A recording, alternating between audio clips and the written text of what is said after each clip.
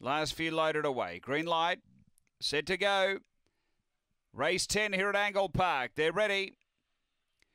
Racing. Good line out. Speed coming from underneath. Corborn Hope's going to drive, but crossed by Rugged and Ready. So Rugged and Ready leads him a lap to run. Corborn Hope second. Ned's chance the inside as Corborn Hope ran a bit deep there. Uh, three away came Twin Pick, Line Seeker and Departure Gate. Down the back, Rugged and Ready. Away by two and a half, Ned's chance. A length and a half, Corborn Hope and two to Twin Pick, Line Seeker. And then Departure Gate up to the turn. Rugged and Ready the leader. Bit over a length, Ned's chance. Line Seeker storming home. Taking the lead, Ned's Chance. Line Seeker late. Ned's Chance has beaten Line Seeker, Rugged and Ready, and Corborn Hope. Uh, then came Twin Pick from Departure Gate. It was back at the tail. The time is 34 and 54.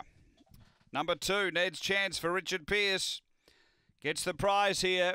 Able to uh, take the front and has been too good. Line Seeker second. Number seven, and uh, third going to eight, which is rugged and ready for Ken Gill. Numbers are two, seven, eight, one fourth, 34 54 the time after race 10 here at Angle Park.